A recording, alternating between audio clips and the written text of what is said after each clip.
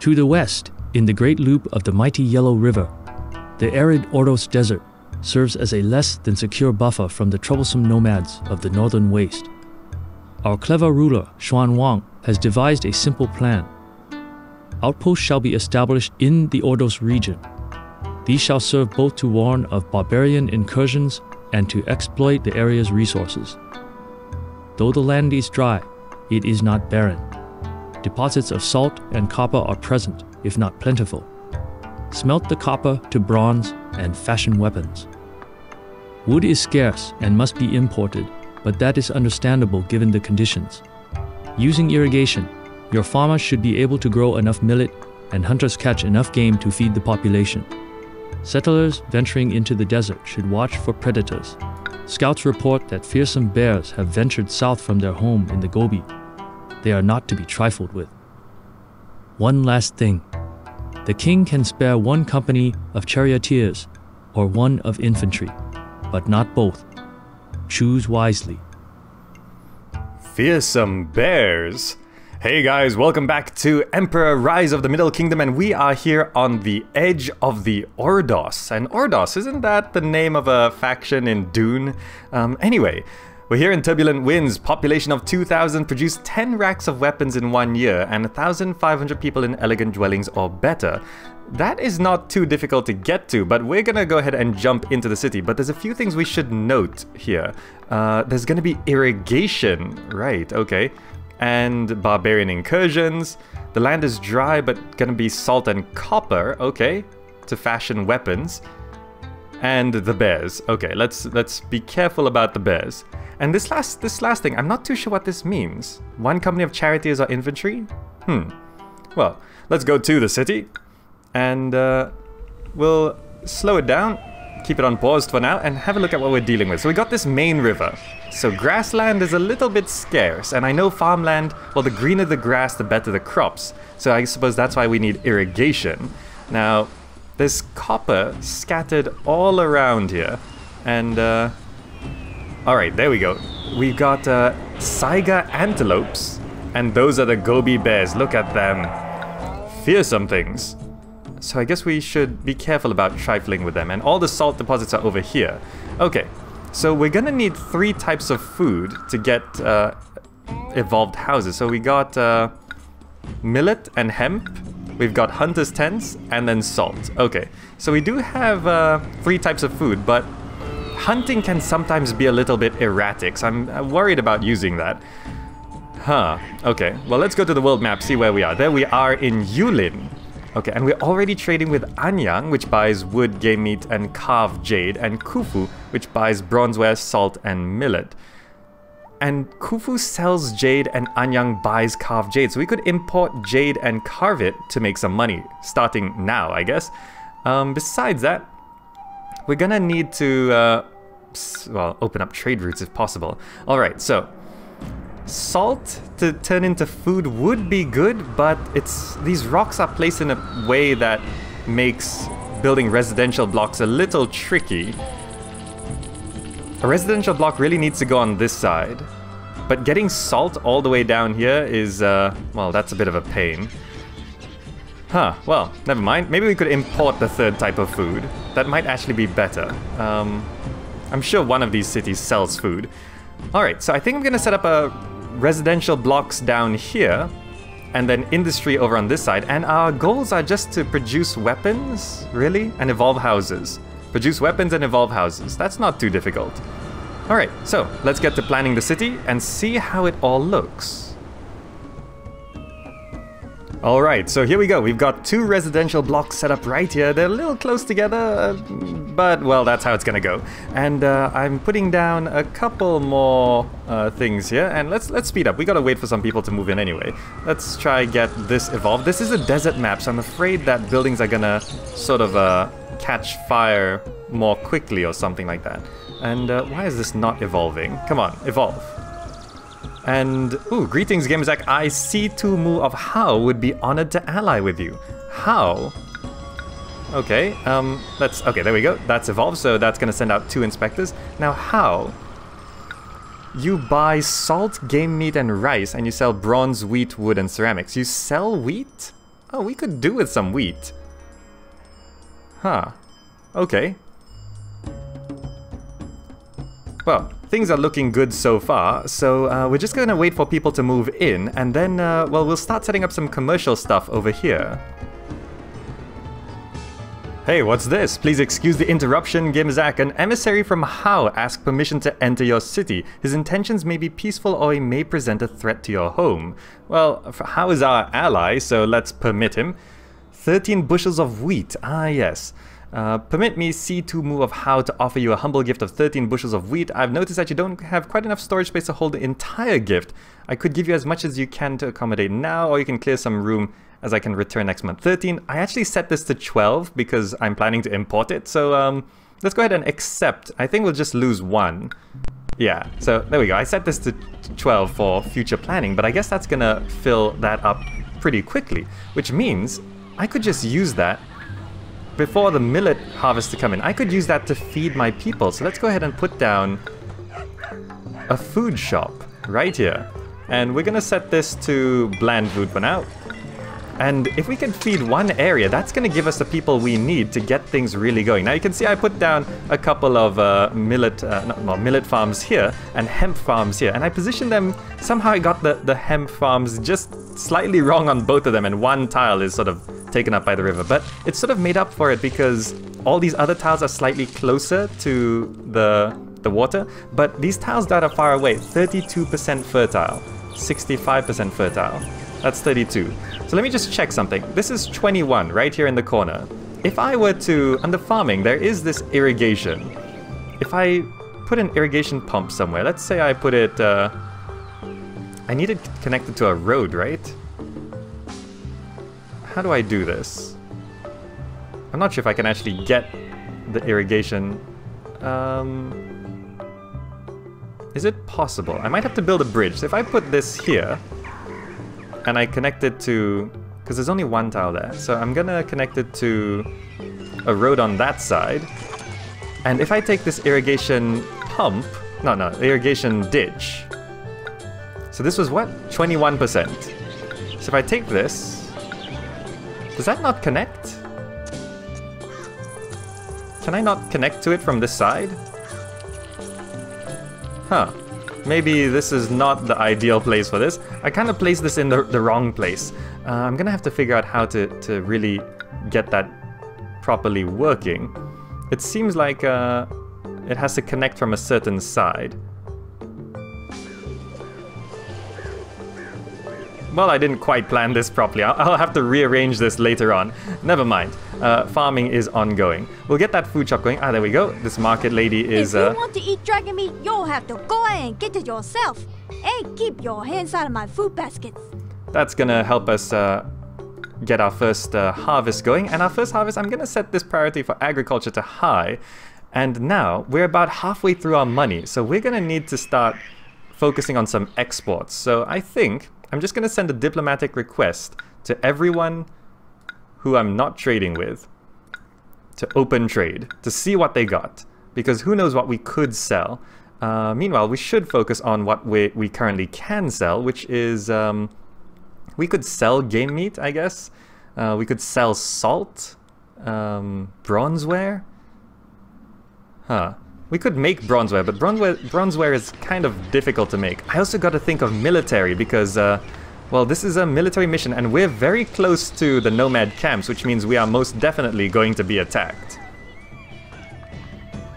Alright, let's have a look at our trade agreements. Who's gonna accept? Uh, Wu says no. Okay. Anyi says no. Um, Pingyang says yes. And Shu says yes. Okay, and our houses are starting to evolve here. I just put down these temples to evolve these houses further. Now, so that opens up Pingyang and Shu. Now, I don't have anything to go and convince Anyi or Wu right now, but let's see what Pingyang buys. Salt, weapons, and silk. Oh, they buy 24 weapons a year. We could make some money off of that. And Shu buys bronze, bronzeware, and salt. More bronzeware. So we could go heavy into weapons and bronzeware right now. Weapons uh, might be a nice one to go into. Meanwhile, we have uh, sort of set things up over here. We, uh, all the wheat is gone, but the millet harvest should be coming in soon. And oh, our hemp is actually done, and I don't have a storage yard. Let me slow the game down.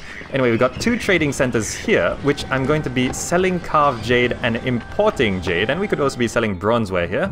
And I put up two salt mines, just so we get some salt into our uh, mill here, so that we have another kind of food along with our millet. So two types of food is quite important. But first of all, Let's go ahead and put down a warehouse.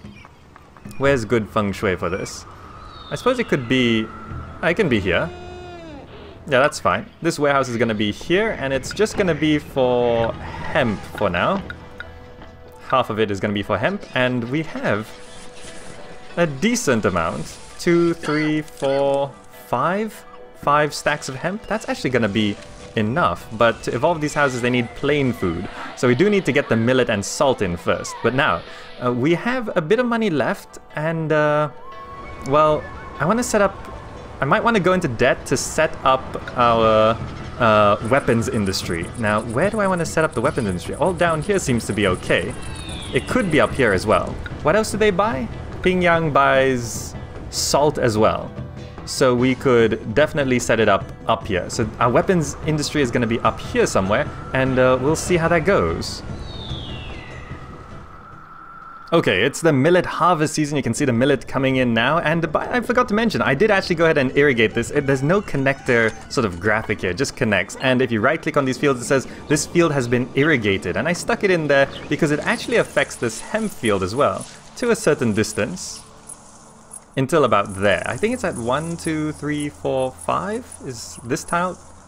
It's like five tiles out this way as well. So five tiles away from all of this, these fields are irrigated. So I irrigated this as well. So we get uh, as much uh, millet as we can. And, oh, we have gone into debt and Hao is asking to come in. So yes, please come in a gift of 1,200 strings of cash. Yes, uh, thank you very much. Spend it wisely. Perhaps someday you will pay back the loan with interest. Maybe. Uh, but that's definitely something we need right now. Now, millet is coming in, and people are still moving in from all of this. So you can see extra room for people to move in. And uh, why are people still moving in up here? Did these houses just evolve? I'm not too sure. But uh, since the harvest season is in, we can stop prioritizing agriculture, so our industry and commerce can get back up. And you can see I've imported raw jade, and we're now carving it into carved jade. And I put down two hunter's tents so you could sell a bit of game meat as well. I don't want to use game meat for this uh, quite yet. And where are all of these, these antelope going?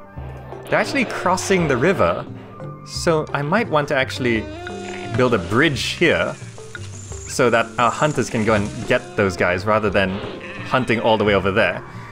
Alright, so we've got a bit of game meat coming in so we can sell. Salt is also coming in, and I should actually set this to plain food before I forget. Oh no, I... she's already going to get millet. I hope we have enough millet to... Uh... Actually, I should put down a second food shop here to stabilize. We actually have quite a bit of millet. Um, yes, we have enough. So once we get a second type of food, we can start evolving these houses even further.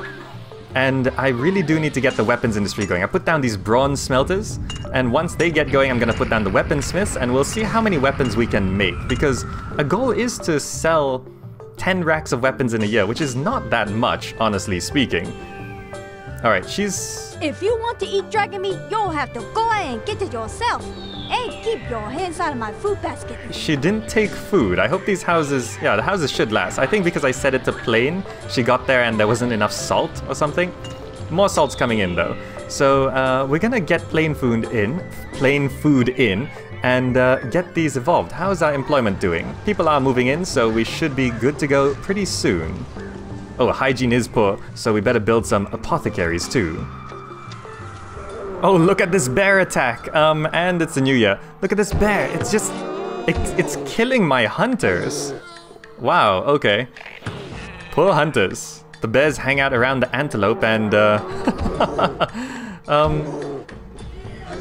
You're dead. Right, okay. We really should try and stay away from the bears. There's some down here as well. Alright, but we are managing to kind of float above the mark there. Anyway, the food is coming in. Uh, there we go. And it's plain food, so these houses should evolve soon, and which means they need entertainment to evolve further. So let's go ahead and put down a music school right here, so that uh, it, it, probably should go up there because it's for these two marketplaces. Let's put it up uh, here. There we go. And uh, that will help these evolve further. I don't think we need more than that. Um, they need hemp, right, I forgot. Uh, do we have hemp in storage? We do have hemp in storage. Let's go ahead and put down a hemp shop. And we'll put down a second food shop so that there'll be well, double up the, the amount of food we can hold there. Selling millet cakes. That's quite nice. It's just millet and salt, really. uh, we could sell millet, but I don't want to. I don't like selling my primary food source because I don't know if this is actually going to last a year or not. Meanwhile, you can see we've got uh, some nice jade and game meat being sold right here, which is... Uh, how much is it actually worth? Let's see, we're at 500. And it's going to go up to... Oh, it's they're selling us the raw jade first. And we're at a thousand people. That should... Yeah, we have unemployment. Fantastic. Um, have we already... Oh, it's a different trader who's supposed to buy this. These guys, I think. The nomad camps will attack? Huh. We are in no way prepared for their arrival. in just six months. Um, I know surrendering is an option. I'm not sure what that does, though. I guess we're just gonna wait to see what happens when they arrive. I mean, we're allied with Hao? Can we... We could request defensive aid. Um... Well, setting up a military now is practically impossible. I mean, we're just about making money. Um, look at that, we're at 35. Um, huh, I'm, I guess I'm gonna have to figure something out. So, the Nomad Camps is gonna arrive here in three months, so this is what I'm gonna do. Um, I'm gonna actually go ahead and ask Hao for defensive aid, and, um... Hmm. I, I'm, what I'm gonna do is I'm gonna save the game, and I'm gonna ask Hao for defensive aid and see if they can send enough troops to deal with this. And if it doesn't, well, we might want to just surrender and see what happens. I don't think you lose in Emperor if you surrender, so we're gonna try do that. Alright, so the Nomad Camps is gonna be here in six months. I think I know what I was supposed to do. The briefing actually stated that the Nomad Camps were gonna be a problem. Um, so I think I was supposed to send a spy to the Nomad Camps uh, much earlier, and I think that gives you a bigger warning of when they're going to attack. Anyway, our houses here have evolved quite nicely. We're still floating around zero in terms of cash, but we're slowly climbing back up. And uh, employment is doing really well, actually. Let's keep it at high. And um, I would like to tax these people, but uh, uh, we don't have any wood. I'd like to see if we can get through this invasion, first of all. Um, I did save, and I asked Hao for help, and I have a few troops coming along of my own, but I don't know if it's gonna be enough. Now, if this is an overwhelming force, then I'm pretty sure we're supposed to lose this one. so they're, they're gonna be here, like, now, I think just in the next month. It's September now, so let's uh, just wait until the next season. Our food supply is actually doing okay. Come on. September, October. There we go. So see, we can surrender, but let's go ahead and go to the site of the event. The, um, um, that is a, a surprising amount of horses, not to mention it's a really bad location. Well, let's fight to defend the city. And C2Mu of House and help. They should be reporting for duty. Okay, we're gonna accept. Now let's slow the game down. We're, um, let's, uh, I guess we'll put these guys here. They're gonna run right... Are they already launching arrows? Well, I guess... Where is this help? Do they come from here? We actually get some, some troops. So that's immediately caught on fire. We'll send our infantry out. And do we get control of these guys? We do. Let's bring them over. But I don't think we're gonna win this one. that is quite a lot of them. Uh, let's see how we do, anyway. Um, I think we're losing. We sent one of their infantry uh, groups back, though. At least we are making money. now, these horses. There's more back there. There's so many horses. Um, you. Kill that guy, please. Oh, they're fighting the bears. That's uh, also good. um, we got three chariots versus quite a lot of their horsemen. Are we able to kill any of these guys? Oh, he killed one of them. Last two infantry from Hao showing up here.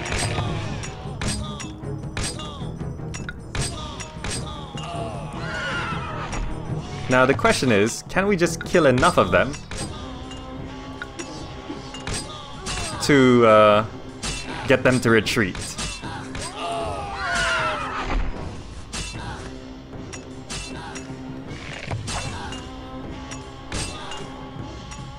But this seems like a, a really big force. I mean, maybe if we started military slightly earlier, we might have been able to defeat this.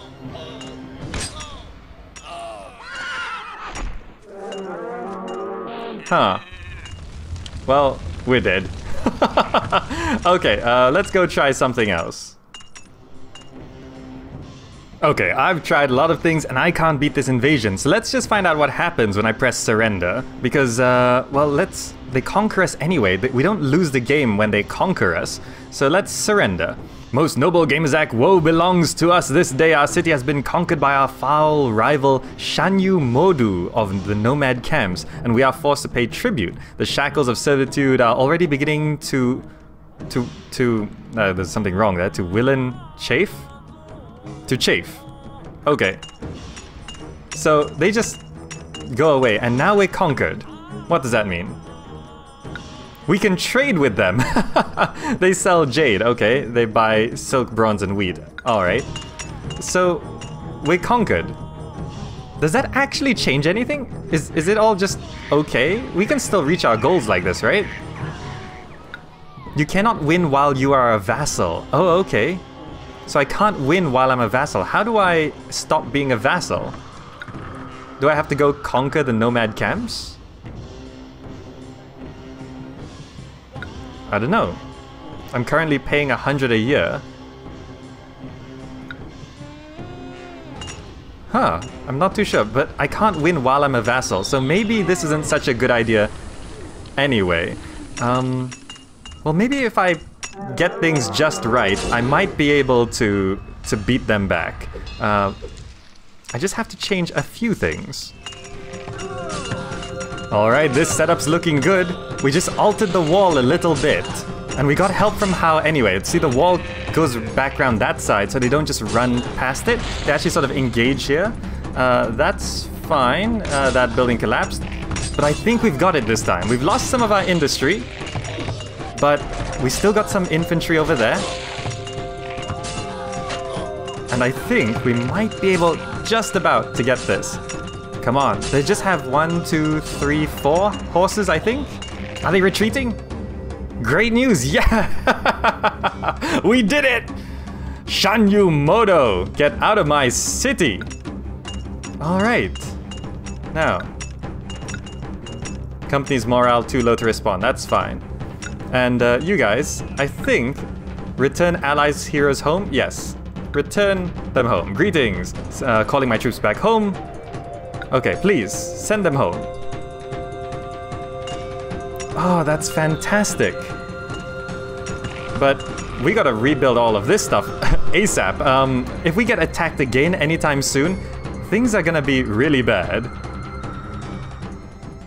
Hao becomes rival. Um, I see Tumu of Hao I have decided to become your rival. Are we still- we're not trading with them. Damn it. Did we... Were we trading with them before? I don't think so. I mean, they were my ally, and they actually helped me survive.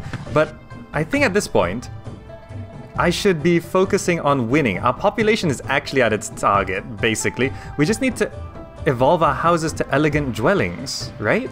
So what does that actually need? we just need to evolve these houses once more, right? Spacious dwelling. They need... What do they need? Appetizing food. Okay. Well, we are...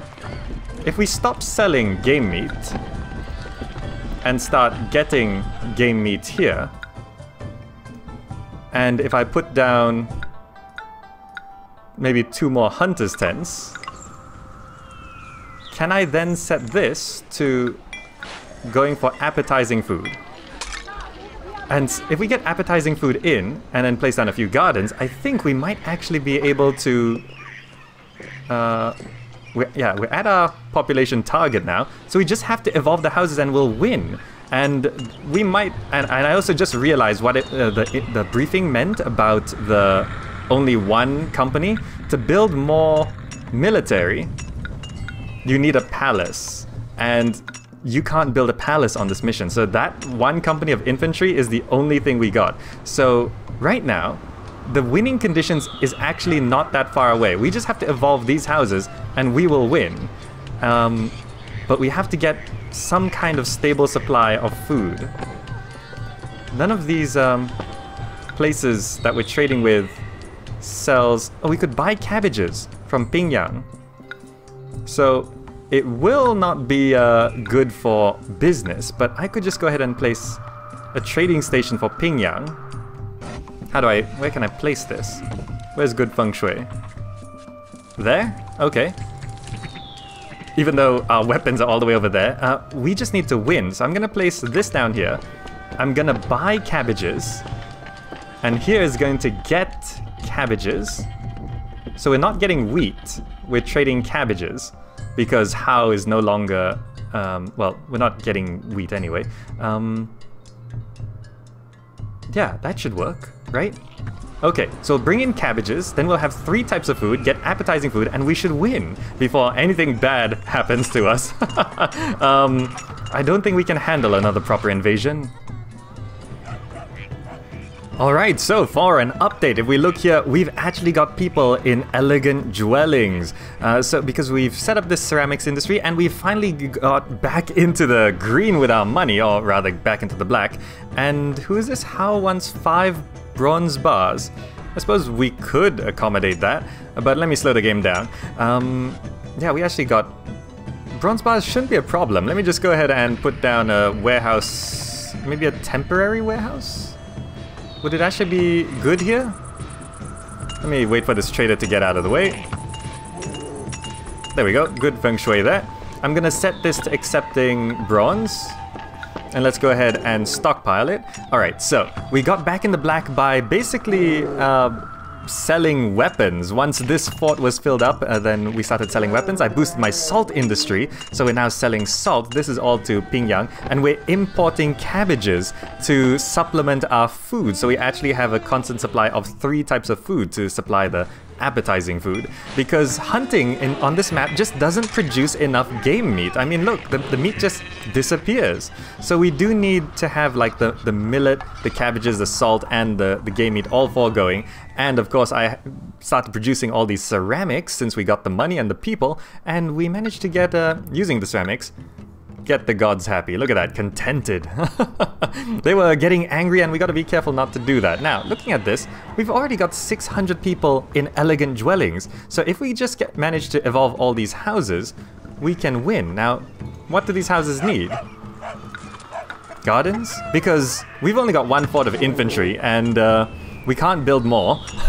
and, uh, well, I, I, could start fortifying my walls, but uh, I'd rather not risk another invasion. So if I drop down these gardens and evolve these houses, these houses need ceramics before they can evolve, no problem. The market guy is coming by. We're almost there, just gotta evolve these houses. Come on. And that is over a thousand. So we just need a few more people and we should be winning. Alright, so food supply kind of stabilized and we're over a thousand. So uh, I have a little trick here. Currently, well, it's not a trick, all these houses aren't evolving because of desirability. So let's go ahead and give them the desirability they want, and I think I'm gonna have to devolve, uh, demolish these houses back here and replace them with gardens, in the name of progress. And that should boost our we've won! we got it! We fulfilled all the requirements. Just needed to stabilize the food supply a little bit.